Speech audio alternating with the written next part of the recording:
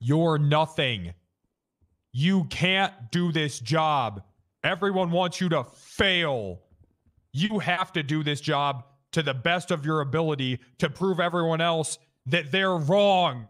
Your existence is what makes people suffer, and suffering is what gives you a purpose. Spread the suffering, make them hate you more.